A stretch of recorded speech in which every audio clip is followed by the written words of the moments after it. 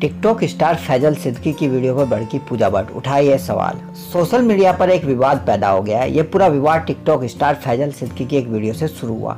दरअसल फैजल सिद्दकी ने टिकटॉक पर एक वीडियो बनाया। इस वीडियो पर एसिड अटैक को प्रमोट करने का आरोप लग रहा है। विरोध करने वालों की लिस्ट में अब एक्ट्रेस पूजा भट्ट भी शामिल हो गई है।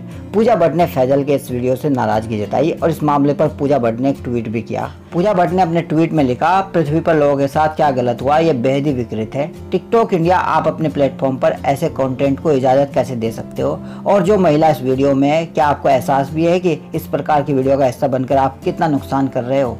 वही कल ट्विटर पर hashtag ban TikTok number one पर ट्रेंड कर रहा था। वायरल वीडियो में फैजल एक ऐसे लड़के की एक्टिंग कर रहा है जो अपने प्यार को खो चुका है। वो अपनी प्रेमिका से कहता है कि उसने तुझे छोड़ दिया, जिसके लिए तूने मुझे छोड़ा और फिर उस पर कुछ फेंकता है। ये लिक्विड होता है, जिसे एसिड बताया गया जिसकी वजह से लड़की का चेहरा खराब हो जाता है। इस पूरे मामले में राष्ट्रीय महिला आयोग भी सक्रिय हो गया है और सिद्दकी पर भी कार्रवाई करने का फैसला किया गया है। खबर अच्छी लगे तो लाइक करें और सब्सक्राइब करना ना भूले। Thank you